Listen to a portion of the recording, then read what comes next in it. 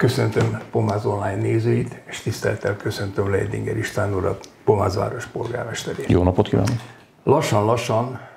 letelik a 5 éves ciklus, illetve most egy kicsit egy előrébb lett hozva, bár a tényleges mandátum az mégsem, de a választás az előrébb lett hozva. Ilyenkor óhatatlan egy mérlegkészítésnek az ideje, és ez különösen azért fontos, mert az emberek számára sokszor csak a periférikus vagy az őt leginkább érintő dolgok a fontosak, a többiről hajlamos megfeledkezni. Tehát egy teljességről, egy összességről, egy összesített valami képről neki egy kicsit nem,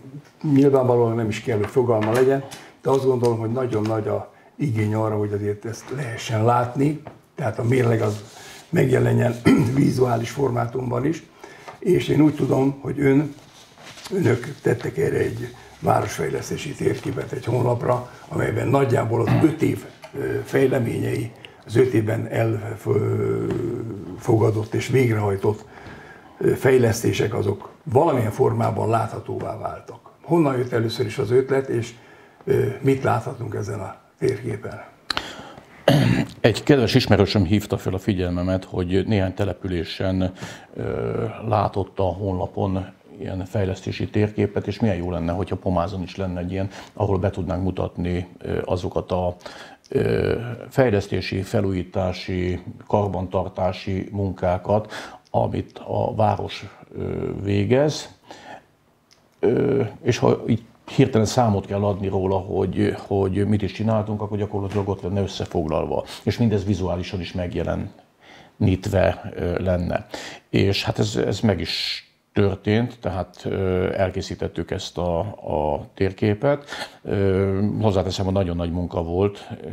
már a térképnek az elkészítése, tehát nem a munka, a, a fejlesztési munkáknak a, a megcsinálját, az még, még ennél is nagyobb munka volt, hanem ezeket összeszedni, és hát sikerült úgy megcsinálni, hogy, hogy ha rákatintunk, akkor látjuk vizuálisan, hogy milyen fajta fejlesztés, hol történt Pomázon. Ha rákatintunk, akkor szöveges leírást találunk, fényképeket találunk róla, pénzösszegeket találunk, megtaláljuk, hogy ki volt ennek a munkának a kivitelezője, és, és ráadásul ugye hát ez nem ért véget ez a munka, mert hát ezt még tudjuk folytatni, és tudjuk csinálni. De hogyha úgy kezdte, hogy, hogy ilyenkor vissza kell egy kicsit tekinteni, akkor, akkor engedje meg, hogy, hogy én is úgy prezentáljam, vagy vezessen föl ezt a, a fejlesztési térképet, hogy, hogy egy picit tekintsünk vissza a 2019 és 24 közötti időszakra, és hogyha lehet jelzőt hozzá aggatni, hát akkor én, én azt mondanám, hogy ez a válságok ciklusa volt, ugyanis 2019-ben egy költségvetési válsággal találtuk szembe magunkat, amikor a városvezetést átvettük, ugye erről sokat beszéltem, aztán még ki se lábaltunk a költségvetési válságból. Ugye erre fölvettünk egy 200 millió forintos hitelt, hogy egyáltalán ki tudjunk belőle mászni, ki tudjuk a szállítói tartozásokat fizetni. Ránk köszöntött a, a Covid első, második, harmadik, vagy mit tudom én, hanyadik hulláma, már, már követni se tudtuk, tehát a 2020-as év az gyakorlatilag a, a, az ismeretlen Covid járványnak a, a hatása alatt volt aztán utána jött az orosz-ukrán háború, és ennek a, a hatásai, ugye ez 2022 tavaszán történt, generált itt egy hatalmas nagy inflációt, egy hatalmas nagy ár emelkedést, egy hatalmas nagy energia áremelést, ami, ami húzta magával a, a többi árat, árakat is. Aztán, hogy még, még, még ne érezzük jól magunkat, volt egy hatalmas nagy asszály is 2022 nyarán. Soha nem látott a száit, vízkorlátozást kellett még pomázon is elrendelni aztán utána pedig, pedig a, a, háború Brüsszellel, amit kormányunk folytat, gyakorlatilag ez vezetett oda, hogy, hogy elapadtak a, a pályázati források, fejlesztési források, gyakorlatilag az elmúlt két évben nem sok fejlesztési forrás tudott megérkezni a településre, tehát egy ilyen öt évnek néztünk ö, ö, elébe akkor, és hát azért azt, azt büszkén mondhatom, hogy, hogy a városnak a költségvetését, gazdálkodását azt rendbe sikerült tenni, sikerült kiegyenesíteni, és hát ezen a fejlesztési térképen pedig nyomon lehet követni, hogy, hogy uh, itt durán egy 3 milliárd forintos városfejlesztés, városgyarapodás van vizuálisan is ábrázolva, hogy milyen szakágakban milyen munkák lettek elvégezve, milyen karbantartások lettek elvégezve, és és hozzáteszem, hogy hát van, amit nem is tudunk ábrázolni, mert most egy kulturális fejlesztést, vagy egy szociális fejlesztést, azt nagyon nehéz így fejlesztési térképen ábrázolni. De én javaslom a kedves nézőknek, hogy, hogy böngészék a térképet, nézzék meg, próbálkozzanak vele, ha rákattintanak, akkor különböző csoportokba hozva megmutatja, például csak a csapadékvízelvezetést említem, hogy a ciklus alatt csapadékvízelvezetésre és csapadékvíz által okozott problémáknak a megoldására több mint 500 millió forintot költött el a város, és akkor itt meg lehet nézni, hogy hol, mit, mit csináltunk. Ugye ebben voltak a kisebb néhány százezer forintos munka, és a, a több millió, vagy több tízmillió, ugye, ami most fog indulni, csapadékvízelvezetés, beruházás a, a napokban nagyon sok dolog nem ábrázolható egy intézménynek a nyári rendbehozatala, vagy egy kitakarítása, kifestése, tisztasági festése és egyebek. Én azt gondolom, hogy nagyon, ez a városfejlesztési térkép, tehát már ebben a pillanatban működik, és akkor kérem, hogy mondja még egyszer, hogy milyen formában juthatnak hozzá a lakosok. A város honlapján jobb oldalon található meg a ahol régen a polgármesteri hírlevél volt, annak a helyére tettük be a térképet, arra, hogyha rákattintanak, akkor megnyílik ez az oldal, és a jobb felső sarokban látható egy 3,5 milliárd forintos szám, ami azt mutatja, hogy, hogy mekkora fejlesztés történt, ebben a 3,5 milliárdban ebbe benne vannak azok a fejlesztések, ami gazdaságfejlesztés, és nem közvetlenül az önkormányzat kapta, vagy a, a önkormányzat cége kapta, hanem, hanem valamelyik pomázi vállalkozás kapta, és ehhez a pomázi vállalkozás hozzátett még egy jelentős összeget, és ebből csinált valami fejlesztést. Most a hozzátett pénz az nincs benne, hanem csak az, ami, ami pályázati pénzként érkezett ahhoz a céghez. Ezt szerepeltetjük benne, de hogyha ezt leveszem, akkor durván egy olyan 3 milliárd forint az, amit az önkormányzat közvetlenül, vagy úgy, hogy az önkormányzat pályázott rá, vagy úgy, hogy az önkormányzat tette hozzá ezeket a, a fejlesztéseket, különböző csoportosítva tud megnézni. Tehát például egészségügyi fejlesztésnél 161 millió forint, élhető városfejlesztésnél 426 millió forint, épületrekonstrukcióknál 49 millió forint, fásításnál 27 7 millió forint hulladék kezelésnél 16,8 millió forint, gazdaságfejlesztés kerékpárút 129 millió forint, közbiztonságfejlesztés 115 millió forint, közintézmények fejlesztése 448 millió forint, földutak javítása 73,5 millió forint, parkosítás 100 millió forint, sport 33,5 millió forint, tehát ezek, ezek,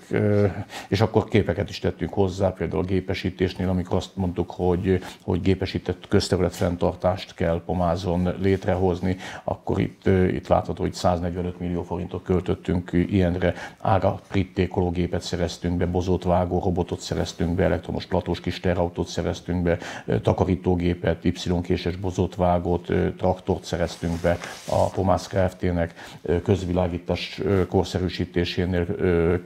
a Zalcsevicének az új közvilágítási hálózat kiépítésének a terveit készítettük el,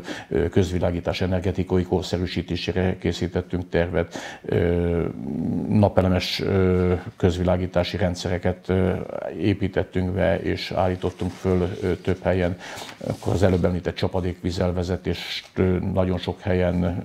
tudom említeni, több mint 500 millió forintot költöttünk közlekedésfejlesztésre, 83 3 millió forintot költöttünk. Itt, itt egyet hagy emeljek ki, ami most fog remélhetőleg a nyáron megvalósulni, hogy már ezt múlt évben már elindítottuk ezt a, ezt a fejlesztést, hogy a, a bölcsődének és az óvodának a megközelítésére egy gyalogátkelő helyet teszünk a, a Mártirok útjára, ennek a megterveztetése, szakhatósági engedélyeztetése nagyon hosszú folyamat volt. Most úgy néz ki, hogy most már minden engedélyünk megvan, tehát most már csak a, az oszlopnak az odahelyezését, elektromos árammal való ellátását, meg a felfestést kell megcsinálni. Hát ezt remélhetőleg ez szeptemberben el fog készülni. Kedves halandó nem is tudja egyébként, hogy egy ilyen átkelőnek, gyalogátkelőnek milyen protokolláris dolgai vannak, meg következményei vannak, tehát nem egy egyszerű dolog, hogy oda is felfestünk harcsikot. Bizonyán, és a, és a fejlesztési térképnek a szöveges részébe azért nagyon sokszor erre is próbáltam ráutalni, hogy, hogy, hogy van egy fejlesztés, ami viszonylag úgy egyszerűnek tűnik, de ennek, hogy micsoda komoly időbeli és pénzbeli komoly előmunkálatait kell megcsinálni. Ugye nagy büszkeségünk most ez a kis derahíd, amit csináltunk, és összekötöttük a főutcát a, a Huszár utcával, és most nem volt nem olyan régen a, az átadása. Ez is úgy indult, hogy volt 8 millió forint pályázati pénzünk egy hídnak a, a megcsinálására, és akkor ott látható, hogy mennyi mindenre költöttünk még, hogy mennyibe került a, a kerítés megépítése, mennyibe került a sétánynak a megépítése, a, a napelemes kandelábereknek a, a megépítése, maga az engedélyeztetési folyamat, az, hogy a közbeszerzési ö, rendszerben megjelenjen a, a közbeszerzési hirdetés, a, a különböző tervezés, a műszaki vezetésnek a költségei, és végén azt látjuk, hogy, hogy ez a 8 milliós hidacska, ez belekerült 52 millió forintba a végén, mire át tudtuk adni és ezeket próbáljuk részletezni, illetve hogy melyek voltak azok a cégek, akik, akik itt nyertek ebben a, ezekben, a, ezekben a munkákban. Útépítésre 372 millió forintot költöttünk az idén, megépültek olyan utak, ami, ami gyakorlatilag utoljára talán még a török hódoltság után alakították ki, az pedig már elég rég volt, de megcsináltuk az alsó várutcát, a felső várutcát, megcsináltuk a vízelvezetését, most elkészült a, a Videom utca, elkészült a Berkenya utca, ez lakossági összefogással készült, készültek kisebb utak ilyen, ilyen marataszfaltos kivitelben, Panoráma utcába például, illetve ilyen darálékos technológiával a, a Göte közbe. Most megpróbáljuk egyébként a földutak javításánál pont ezt a, ezt a, ezt a darálást, hogy bedaráljuk a, a felső 20-30 centis talajréteget, hozzáadunk egy cement emóziót, és akkor gyakorlatilag ezzel olyan jó, stabil útalapot lehet csinálni, ami sima is járható, nem, még nem egy aszfaltos felület, de utána rá lehet tenni egy aszfaltos felületet is. De megpróbáljuk egy járhatóvá tenni. 80 millió forintot költöttünk járda felújításokra, ebbe benne vannak a, a főutcai járdák, amit elkezdtünk, illetve hát az 54 millió forint értékben a, a, a református templom és a, és a, a katolikus temető összekötése a Lupavidor utcába, illetve a Bem József utcába. És a járdépítéseknél ott privát, én a szinte szűke pátriámból veszem a tapasztalatot, hogy sokszor a útépítések, azok hát nyilván összességében összegére tekintve azok nagyon jelentősek, pláne ha azt nagyon jó minőségű utat akarunk megcsinálni. Mégis a nagyobb kihívások, a nagyobb problémát a járda építés, járda építése jelenti, egyrészt, ha mind a két oldalon akarja az ember, akkor az ugye a rendes közúti hálózatnak, a települési közúti hálózatnak minimum a duplája, de inkább több. Így van, tehát most a, a, ezek, ezek az utak, ezek pályázati pénzből készültek el, az előbb említett Vár utca, illetve a Lilium utca, mind a kettőre tudtunk pályázni. A járdaépítés, járda felújításra tudtunk pályázni a Lupavidok utcába és a, és a Bem József utcába. A fő utca, mivel az meg nem a miénk, hát oda meg se pályázni nem lehet, se semmit nem lehet, tehát azt abszolút önerőből kell megcsinálni, és valóban úgy van, ahogy mondja, hogy, hogy járdát nehezebb építeni, mint mint utat, mert, mert nagyon sok pice kilóg a, a járda alá, tehát ott nagyon nem lehet munkagéppel dolgozni, mert különben beszakad, megrepednek az épületek, tehát nagyon sok problémát okoz. Ha eljutunk odáig, hogy járható lesz és sima lesz, szerintem én már, én már akkor boldog leszek. Akkor, akkor ott vannak az iparfejlesztés, gazdaságfejlesztési mutatók, amik szerintem Pomázon elég jók, mert 13 hektár területet vásárolt az önkormányzat, tehát ennyivel nagyobb az önkormányzatnak a, az ingatlan vagyona, és, és vettünk kimondottan úgy ipartelepi földeket is, ami jelen pillanatban még mezőgazdasági övezetbe tartozik, tehát viszonylag olcsó áron meg tudtuk venni, viszont ha beindítunk egy fejlesztést, akkor ez a fejlesztés ez bizony meg fog térülni az önkormányzatnak hosszú távon. Igen. Ipari park, meg a hozzá tartozó utak, azok nagyon viszont gyorsan megtérülő beruházások. Igen, csak annak is nagyon-nagyon sok a, az előkészítése, és ugye most a HÉSZ módosítással elindítottunk egy ipartelepfejlesztési programot, tehát két illetve három helyen is indítunk ipartelepfejlesztést a településen, ugye egy, egy városfejlesztés, ugyanis Pomáznak ez az egyetlen egy esélye, tehát itt, itt akkor a turizmus, ami, ami fenntartana a város, nem fog generálódni, tehát csak azt tudjuk csinálni, hogy, hogy ipart hozunk ide, és, és annak az iparűzési bevételéből fogunk tudni előmozdítani. Csak hát ez is egy hosszú évek folyamata, hogy, hogy ezek a rendezetlen telekviszonyok valahogy rendez rendeződjenek, és a helyi építési szabályzatba átminősüljenek azok a területek az eddigi mezőgazdasági területből, legyen, legyen iparterület, vagy, vagy GKS terület, és el lehessen indítani ezeken a területeken egy fejlesztést. A térkép tartalmaz-e olyat, ami a közeljövőben tehát már tervezés alatt, vagy esetleg már annál egy komolyabb fázisában van, tehát, hogy esetleg erre is rá tudnak-e keresni? Igen, tehát gyakorlatilag a 2024-es fejlesztési tervek is benne vannak már, be is vannak árazva, hiszen ezeknek az előkészítése, mint említettem, valamikor több mint egy év, tehát ezek már megvannak és ezek folyamatban vannak, tehát már látjuk, hogy, hogy körülbelül ez mennyibe fog kerülni. Hát értelemszerűen olyan, olyan fejlesztések még nincsenek benne, amiben most képviselőtestületnek még nem volt döntése. Igen. Hát én azt gondolom, hogy a pomáziaknak adva van feladat a jó böngészést. Így van. És hát tanulmányozzák. Én azt gondolom, hogy sok érdekességet és sok újdonságot fognak benne találni. Köszönöm a beszélgetést. Köszönöm szépen én is.